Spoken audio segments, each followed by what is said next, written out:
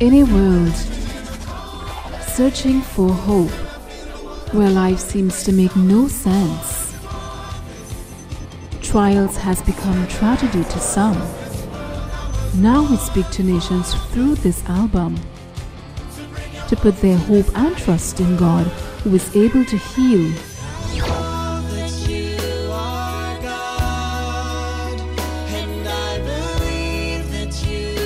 that